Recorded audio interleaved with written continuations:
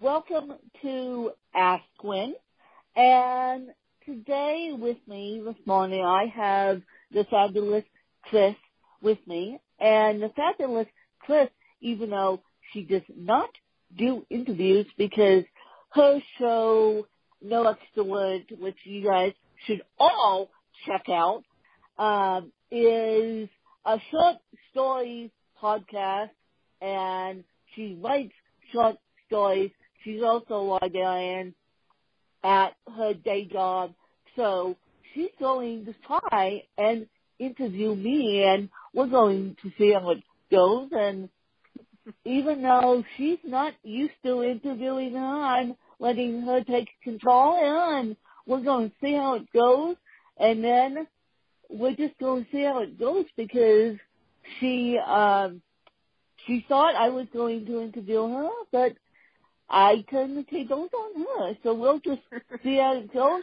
So bear with us, and then we'll just see how it goes. So I'm going to let the fabulous Kris take it away. Yay! Thank you for letting me on the show, and thank you for letting me try this this grand experiment. Um, and for your listeners, Win and I don't know each other incredibly well, so I took this as an opportunity to get to know Win better. So I have some questions, mostly just for my own curiosity, and I wanted to start with, I think a lot of us who are writers dream of being writers from the time that we're little. So I know that you are a writer, as am I. So I'm curious when you first started writing or when you first started dreaming of becoming a writer, what kind of writer did you want to be and what and how has that changed on your writing journey? Man, you a curveball at me for the first question. Well, I I was lucky enough, and a lot of people don't know this. I well, a lot of people do know this. I was lucky enough to um, not have CP in a sense that you would think I had CP. I was raised as a able-bodied woman and people threw, oh, Win has CP as a side note in. So, that being said, I was lucky enough my eighth grade year of my elementary school years to go to Washington, D.C., where uh, National Public Radio is. So the dream of becoming a writer um, for me first started out with podcasting because I saw at the time these big, huge, beautiful microphones, and I thought, now this was coming from my eighth grader. I thought I have the gift of speaking. I can interview people. I'm always curiosity kills a cat person here. And so I thought, well, maybe someday I will get into that. And then I had a stop and smell the roses moment in my life, actually, two of them. Um, one was in 06.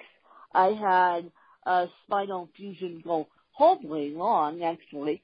They almost killed me, and they gave me propofol and fusion syndrome, which means your blood turns acidic and you have allergic reaction to the anesthesia, which most people who are allergic to propofol get that same reaction. I am one of millions of people that are allergic that is allergic to propofol, so uh, that's the only severe medication I'm allergic to, and how people know it is Michael Jackson died of propofol and fusion syndrome.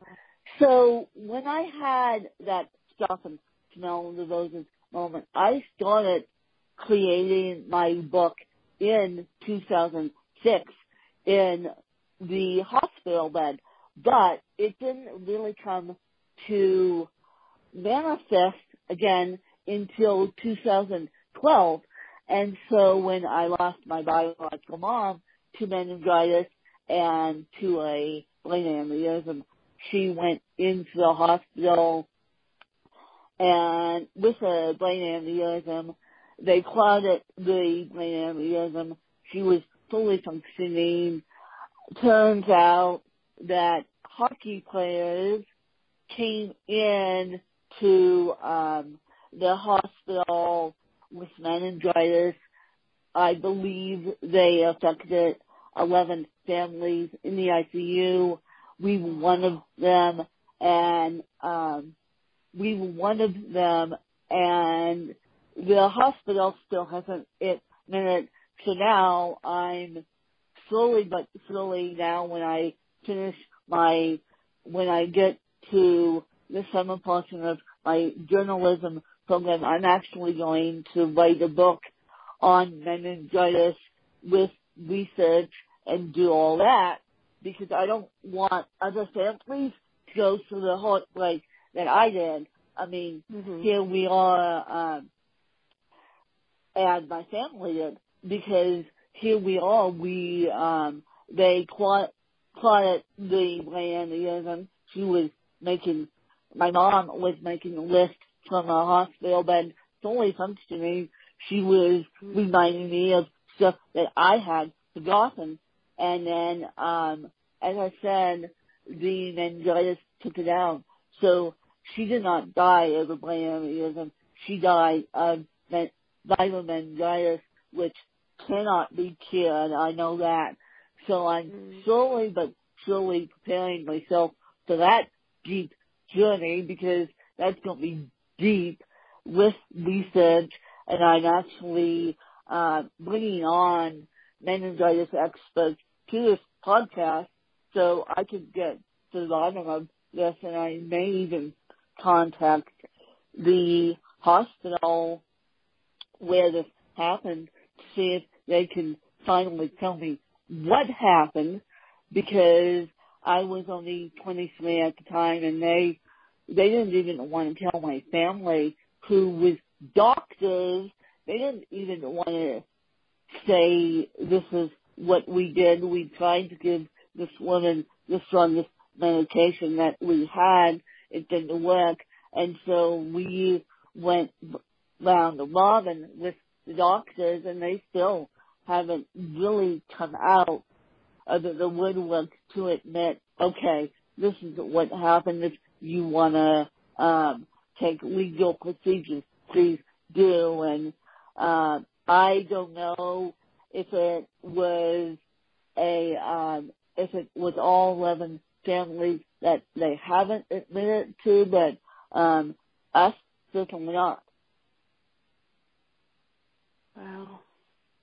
I don't think you know this, but this is one of the things that you and I have in common is we both lost moms young and we both lost moms pretty suddenly and something like that I think really rattles you way down deep. How did you what was your recovery like to come back from that loss of your mom? Did it change directions in your life? Did it obviously it impacted the topic of your writing, but Yeah. how do you journey back uh, from a loss like that? how how do I journey back from a loss like that? Well, I um I used the ten as my therapist. I mean, basically, I did go to traditional therapy after that. Yes, people will call me crazy. Yes, I'm mentally stable, but I use the 10 as my therapist.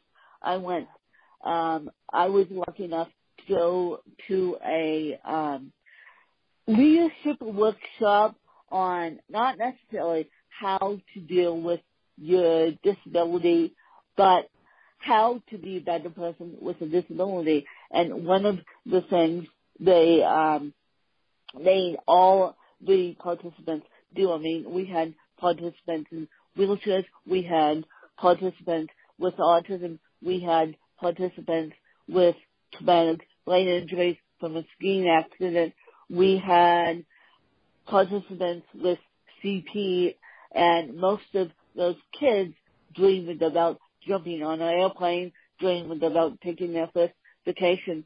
Well, when I did my vision board, yes, they made me write a vision board, and they made me say it in front of 12 people, and I said I want to go back to school for my art, they didn't think that was too nuts. But when I said I want to write a book and have it published, everyone, including my own dad, looked at me like I was nuts because um, this was seven, six months after my mom died. And so everyone looked at me like I was nuts. And, but they wrote it down.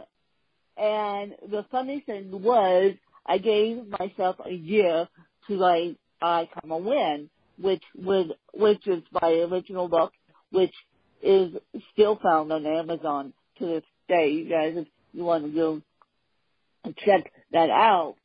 And so within a year, we had a, a reunion of this workshop. And I was able to say that my book was at the editors. Um, I finished the book. I my book is now at the editors, and people almost hit the ground. Their jaws almost hit the floor because they didn't believe in me. I mean, they're used to kids with disabilities saying, "I want to jump on an airplane. I want to take my first vacation with my family." They're not used to a young woman in the 20s at the time and saying, I want to write a book, I want to have it published, I want to share my story with, with the world about cerebral palsy. Yeah. So, I Come Away Win is a memoir, right? Yes. Um, what's it like to write a memoir in your 20s? Like, you're certainly not the first person to ever have done it, and I know memoirs often cover a phase of your life, but okay, so you're in your 20s, and you've set this ambitious goal for yourself that you met. So you're 20 something years old and you've now written your memoir. Where do you go from there?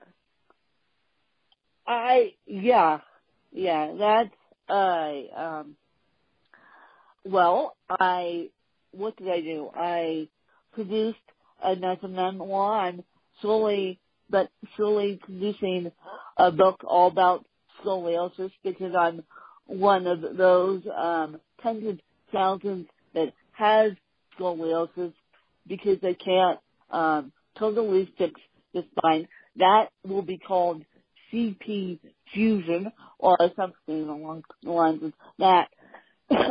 and so now I am a stronger, I'm actually a stronger fiction writer than I am mm-hmm. um, memoir writer because people don't people, even though they love me, and even though they love my story, people get sick of hearing about cerebral palsy. And like, yeah, they're like, what is going on there? Another book, some will win about cerebral palsy. We like a fiction better than, um, better than the memoirs, although I have discovered that, um, memo, that fiction doesn't sell um, nearly as well as memoirs, but that's okay. People seem to like my people seem to like my fiction better than they like my memoirs because it's hard to me to write memoirs. It's hard for me to write to begin with. I mean, I use Apple speech dictation to write full on chapters. I use Siri, then send it off to my editing team to make it all pretty. So I'm mm-hmm. like, let's just, I consider myself a novelist and then I'm also in the process of trying to work with an agent and get on the New York Times bestseller list. And here's a tip for you guys: is you want to um, write a memoir and present it to an agent most agents are going to take it as 50,000 words, one, and most agents won't take a memoir because the average Joe isn't a household name. Let's say the, um, let's say the real housewives of Beverly Hills when they have a memoir, they can get on the New York Times bestseller list in two seconds flat. When the rest of us have a memoir, we can't because the agents are scared that it's not going to sell, which is a valuable thing. So the way I was doing it and the way insiders have told me um, they go in, you want to be presented on the New York Times bestseller list, why not start with a novel and then see how that goes? And so I'm slowly reworking my novel, which I thought was going to be self-published to present in front of an agent. And that's going to be ready in March, so my ghostwriter says. And then I'm going to try and do that again. And I'm not giving up on New York Times bestseller list, but um, this has been a slow process, slower than I thought. I knew it was going to be slow, but I didn't realize until an insider told me that it was going to be like this. I thought I was going to present a query letter and a um, synopsis and my book to agents. I and um I didn't I didn't think they were going to say yes right away, but I didn't know um, that agents require a certain amount of effort and a certain amount of words, and then I didn't know that it's easier to get a novel onto the New York Times bestseller list than it is a memoir. Well, and novels are a sticky thing because, yeah, they they they fall in so many different categories. Anyway, Yeah. um, so Yeah, you you do it all Yeah. with what I'm hearing because you have you so you you you published your memoir in your 20s because you said you were gonna basically I'm gonna write a book in a year yeah. and you did Yeah. and published your memoir. Yeah. You're currently working on pitching a novel that you would like to have Yeah. published. In, in in the world of li- librarians, we call that quote unquote traditional publishing when you go through an agent and through a publisher. Yes. Um, Yes. So you you published your your memoir indie publishing, and now you're going to try to publish your novel traditional publishing. And in the middle of all that, you're getting a degree in journalism. Um, Yes. because you know there's, that, that was a segment of writing you hadn't taken on yet. Where does journalism fit into your puzzle? When did you decide that you wanted to be a journalist? Well, I um I was lucky enough to do the Kona Ironman. And for those of you that don't know what the Kona Ironman is, the Kona Ironman is an Olympic distance triathlon, which means the reason why they make such a big deal out of it, and yes, it's filmed by NBC, and yes, we do all that, but the reason why they make such a big deal out of the Kona Ironman is because it's one of the worst swim, bike, and swim, bike, and runs that people ever do in their lives.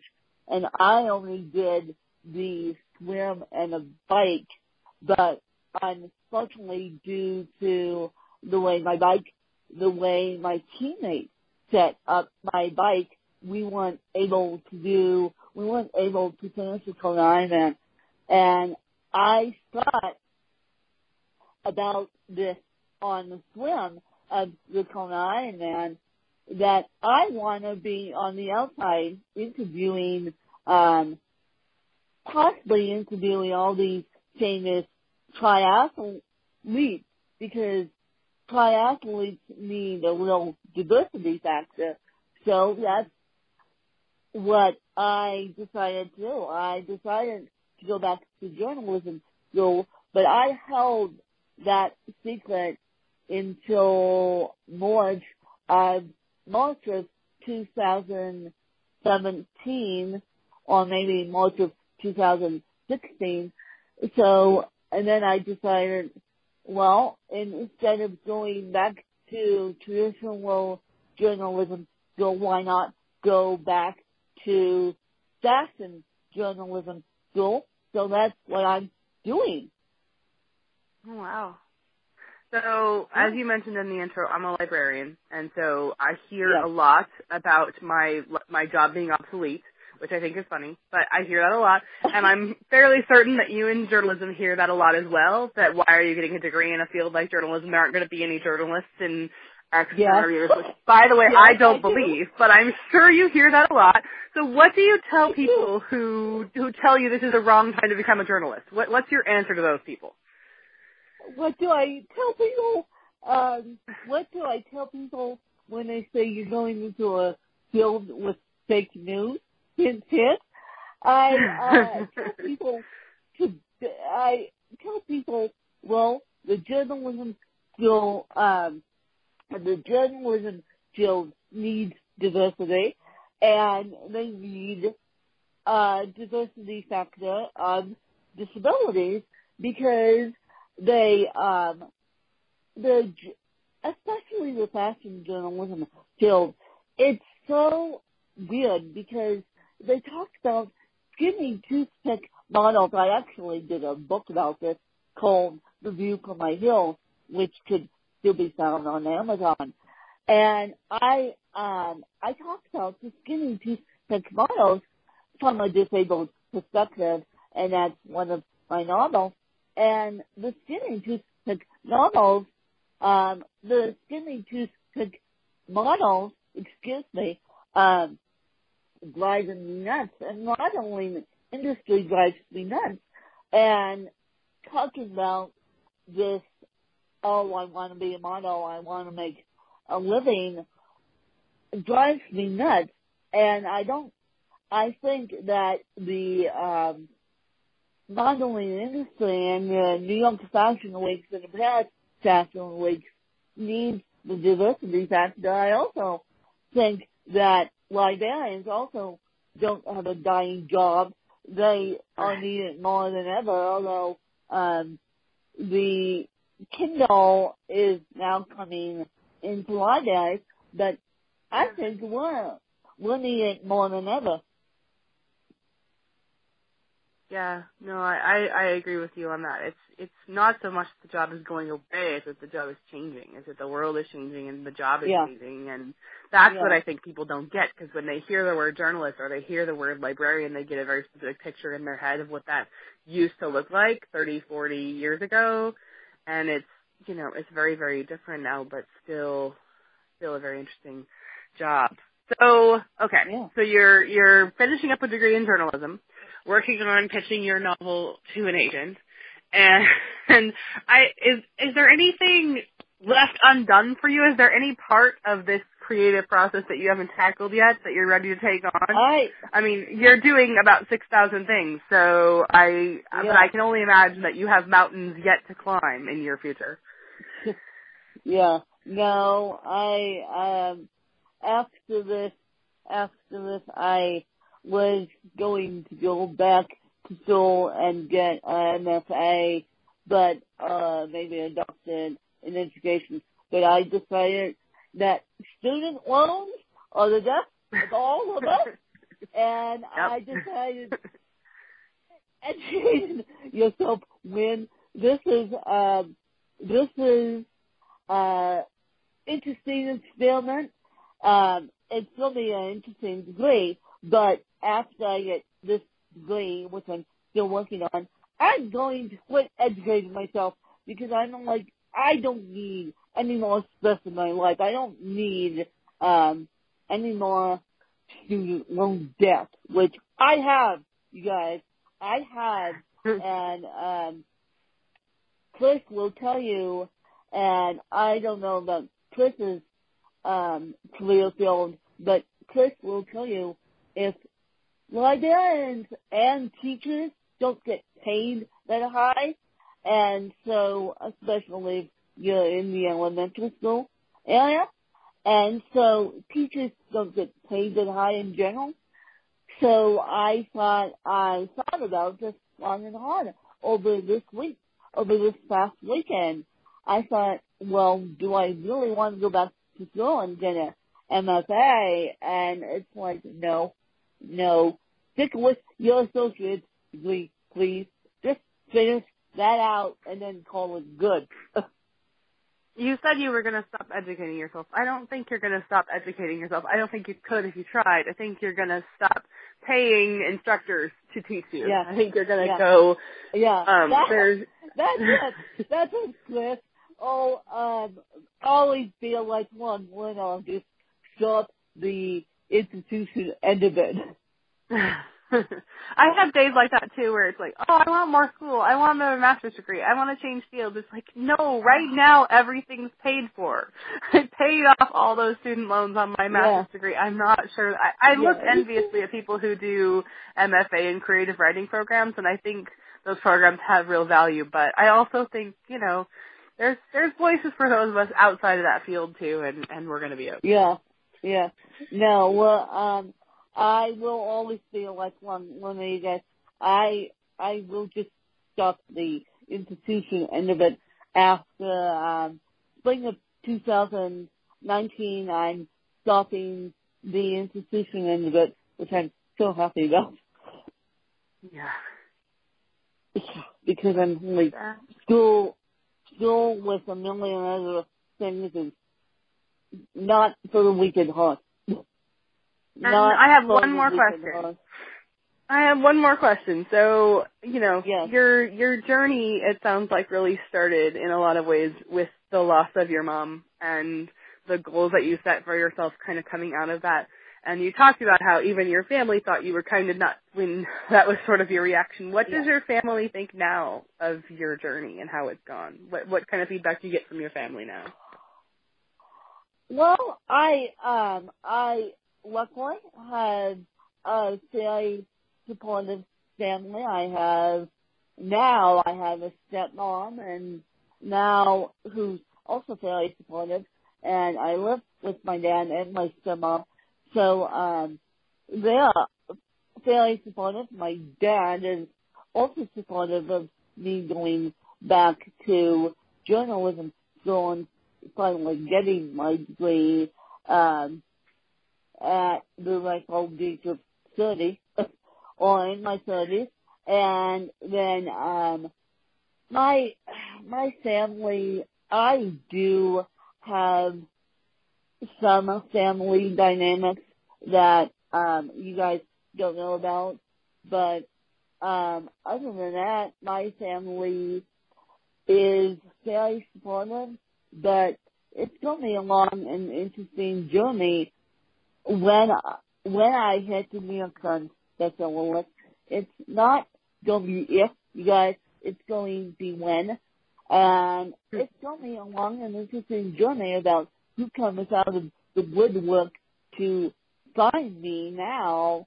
And I'm just sticking to my guns and saying if you don't like it, you can close the door and never come back. Wow. Yeah. Yeah. I I wouldn't want to be the one that crossed you. Let's put it that way.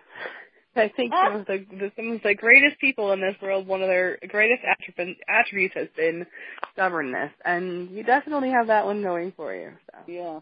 Yeah. Definitely. Well, I have a question for you. What Okay, made you become what um made you become a librarian? Um, I don't. I'm gonna be 40 this year, and I don't think I still know what I want to be when I grow up. Um, Oh. I found I found the library sort of by accident. My best friend moved to an island is really the way it started. So I live in the Seattle area, and we have a couple of sub- suburbs that are actually on physical islands, and you have to take a ferry to get there. So my best friend moved to an island, and she said, you should come out here and live with me. And I said, well, what am I going to do for a job on an island? That doesn't even make sense. Um, and so she started reading the local, at the time I was thinking about moving to Denver to be, to live with my sister. My sister was living in Denver at the time and I was sort of unemployed and living at my dad's house. And so, but my best friend, she said, well, I'll just keep looking in the newspaper and I'll see if I can find a job for you. And she found this job ad in a local newspaper for someone to work at this little small town library on an island.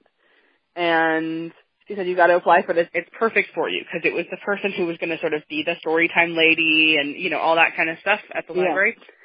And I thought, what the heck? So I applied and got an interview and ended up bailing on the move to Denver with my sister to take the interview.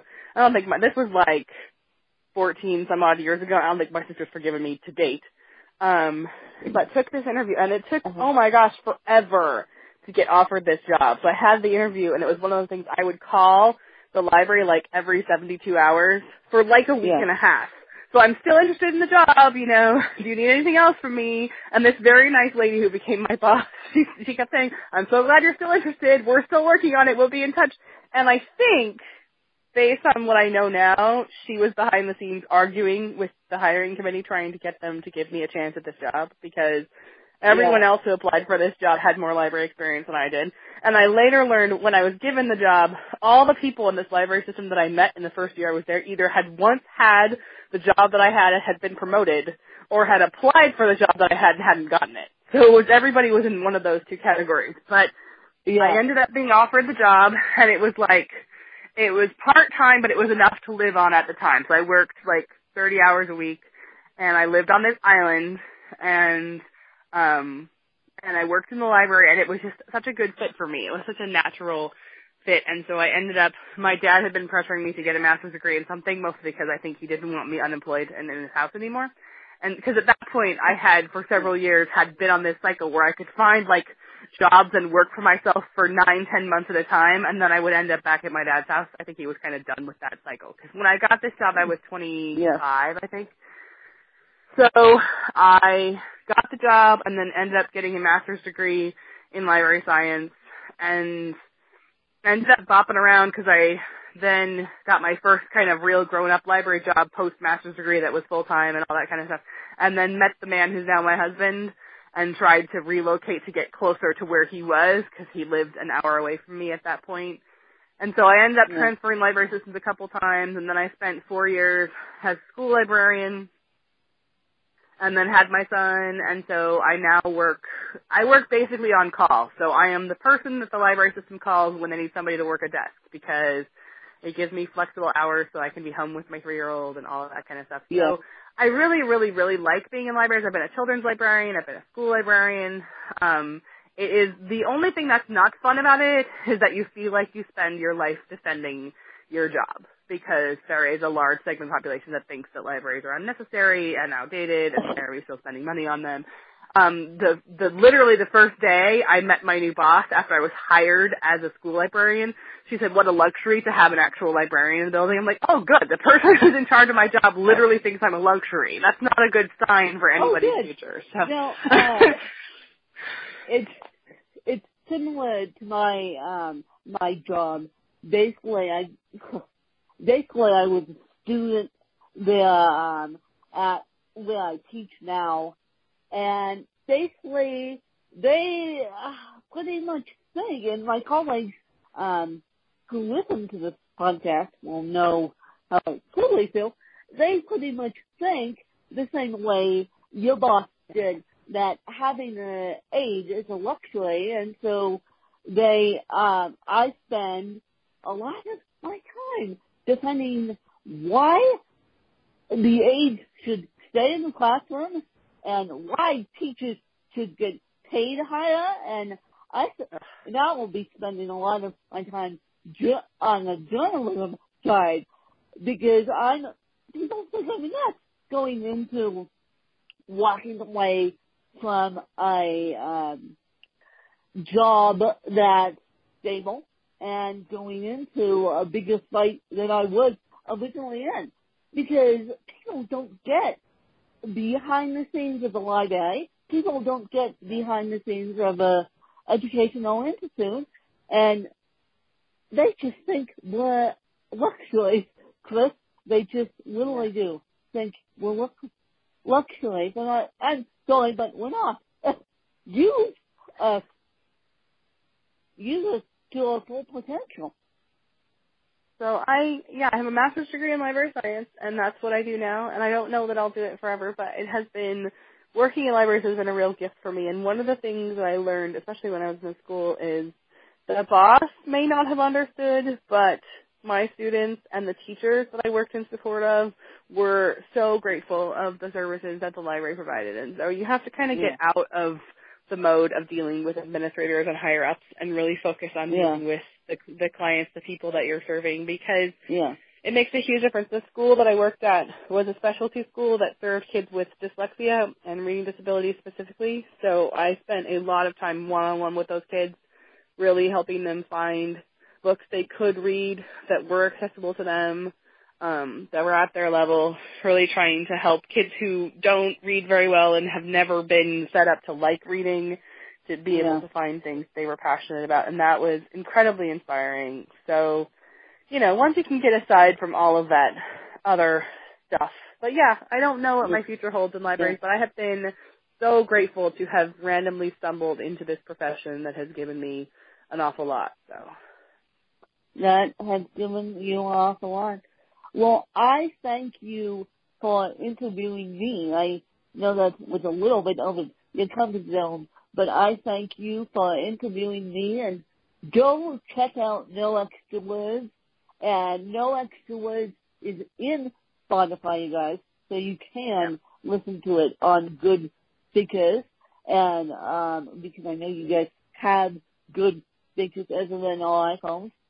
And so no extra words, Ask Win is in Spotify. So please, please, please, please, please, please, please share no extra words out and please, please, please share ask win out because we need all the new fans we can get. I mean, I have been watching Kris's journey and she loves writing as much as I do and she loves books as much as I do. And please, please, please just support the independent artists and please support the local library because they're not dying, you guys. Nope.